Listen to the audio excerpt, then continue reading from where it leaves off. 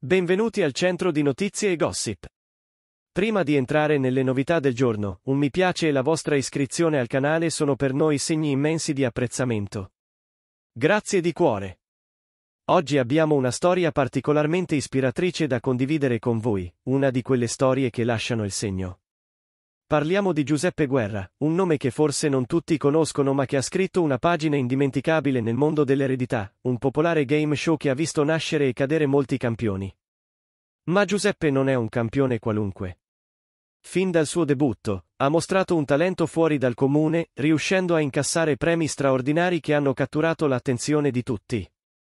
La sua avventura nel gioco si è conclusa con un montepremi complessivo di 75.000 euro, frutto di due vittorie spettacolari che hanno lasciato il pubblico a bocca aperta. La prima gli ha portato 85.000 euro in gettoni d'oro, e la seconda una somma ancora più cospicua di 90.000 euro.